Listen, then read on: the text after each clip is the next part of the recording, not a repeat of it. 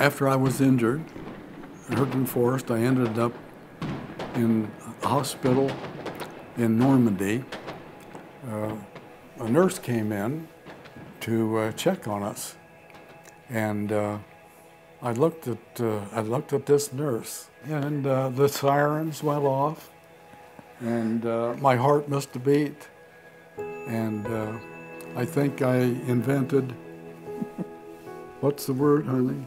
Fibrillation. Fibrillations.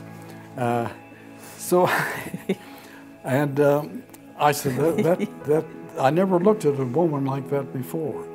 I said this is this is spatial, and uh, so I was uh, in her care for 30 days, and uh, so I asked Betty. I said, now if, if we pull through the war, uh, will you marry me? And uh, I said, now, well, I have some kind of nerve to ask a first lieutenant this, but this would be my last opportunity. And uh, before, we said we would write to each other. And what did you say? I said yes. Betty said yes.